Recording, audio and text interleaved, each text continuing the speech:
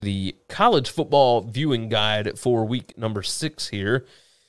And of course, every single week I tell you exactly what I'm going to be watching. What is the most important uh, game for each time slot? Well, let's go on and, and talk about it. Let's go on and tell you. Uh, there's not a whole lot that's going on as far as the midweek is concerned. There is a Wednesday night game. So, of course, SMU at UCF on ESPN2 at uh, 6 p.m. Central Time, of course, God's time zone. I will be watching SMU and UCF. I want to see what goes on with SMU missing a few of those guys that have decided to sit out, etc.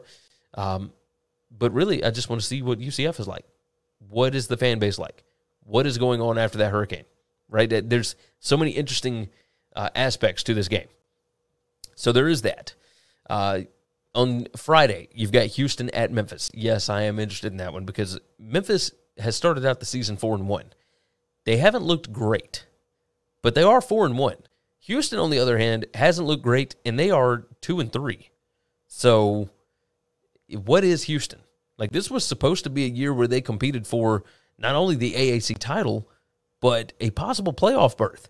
And they their roster looks discombobulated. It looks ridiculous. There's just not a lot of good stuff going on there.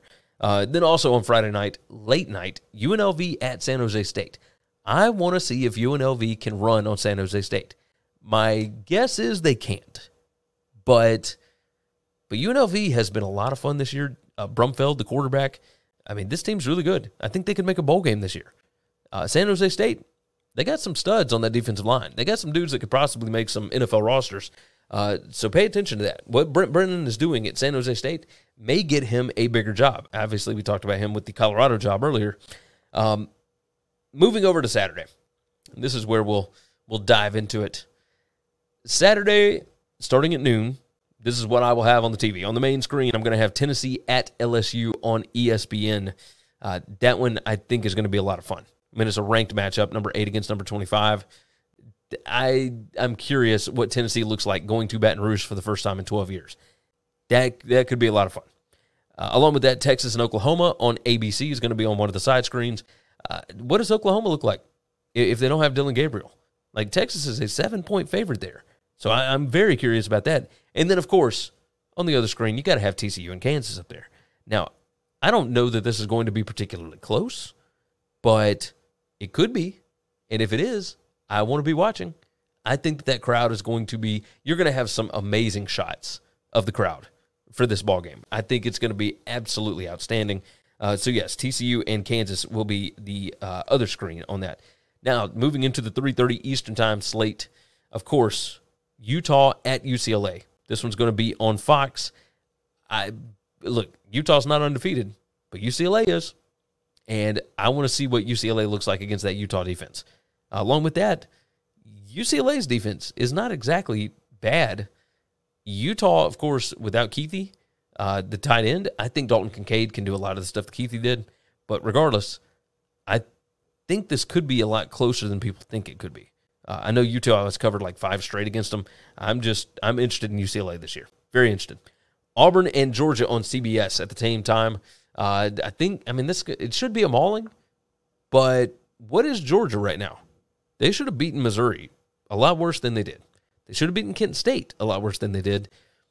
How bored is this team? Does a an old school rivalry matchup like this, especially at home, does that wake them up a bit? I, I want to see what Georgia is. Can Auburn scare them the way that Auburn scared LSU? Right? Uh, and then the other game at that same time, Texas Tech and Oklahoma State on FS1. Very interested in that one because uh, while Oklahoma State has, I think they're like 18 and 2 over the last 20 games. I mean, it's just absurd. Uh, any game with Donovan Smith is going to be high variance. Like this game has the potential to be very, very volatile, especially with Spencer Sanders and Donovan Smith. You could have interceptions all over the place. You you're probably going to have a ton of points in this one. I'm I'm interested. I'm interested. Uh, moving into the Saturday night slot, uh, of course, if you watch the show, you know that I'm going to be watching Alabama and Texas A&M. So that one will be on CBS on the main screen. Uh, the other screen, BYU and Notre Dame. Yes, 100%. That looks like it's going to be a dynamite football game. Um, And then there's other options, right? So for my other screen, I've got three main screens. Then I've got one that's all the way over on the side. So that's four. And then I've got my iPad, blah, blah, blah. So I'll probably have a bunch of these on. But for my third main screen, do I do Clemson Boston College? Do I do Washington State USC, which could be interesting? That, that line got steamed up today. Uh, Kansas State Iowa State looks like it could be, you know, a lot of fun. Nope. Here's what I'm doing. Uh, Florida State, NC State, it, it, interesting, right? I want to watch Iowa and Illinois. I want to see what Bret Bielema's team looks like after going into Madison and just dumping all over the Badgers, right? Can they do it again this week? Can that defense do it? And then for my late night, I typically only watch like one late night game while I've got uh, while I'm getting all my notes together for the Sunday morning show. I'm going to turn on Fresno at Boise. I want to see Green, the new quarterback for Boise. I want to see what that Boise State offense looks like with Dirk Koetter as the uh, offensive coordinator now. Uh, Fresno, like I don't know what this team is without Jake Haener, and I don't know if Haener's going to be back. I don't. I don't know what the situation is, but I want to see what Jeff Tedford's team looks like against Dirk Koetter's offense. Right? that's that's my biggest question here. So those are the teams and the games that I am most looking forward to this weekend. Uh, but there's a lot that will be on. I mean, just a ton of them. Uh, Washington at Arizona State, Louisville, Virginia, Purdue at Maryland is going to be fun. Um, I mean, uh, just looking at these at these games, Kent State at Miami of Ohio, like Southern Miss, Troy, Western Kentucky, San Antonio, uh, UTSA, whatever. Meet meet. Uh, Oregon and Arizona, like that one could be a lot of fun. South Carolina, Kentucky could get interesting. I mean, there's just a ton of fun games. North Carolina and Miami, that one could be a whole lot of fun. Regardless, there's a lot that we will watch this weekend, but those are the games that I will have on my main screens. So we'll see what happens with them.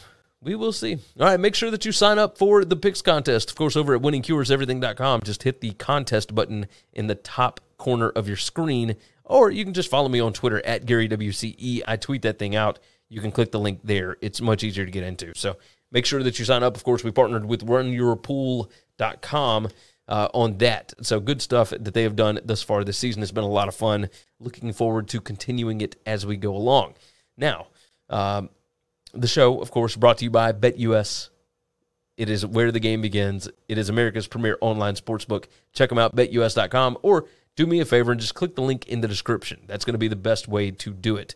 So go ahead and click that link. Uh, they got a bunch of sign up bonuses, etc. Make sure that you take advantage of that. And along with the picks contest, uh, you get a $25 Amazon gift card if you win each week. By the way, it's not like an end of the season thing. It is literally that week. If you win the contest that week, you get a $25 Amazon gift card.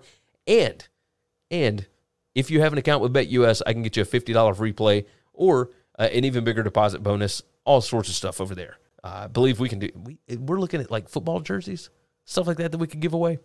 A lot of different stuff there. So make sure that you sign up for the picks contest. Thanks for listening to Winning Cures Everything. Make sure and subscribe on YouTube or your favorite podcast app. And make sure to leave a nice five star review. You can follow Gary on Twitter at GaryWCE. And the show is at Winning Cures. Be sure to check out the merch in our web store and share the show.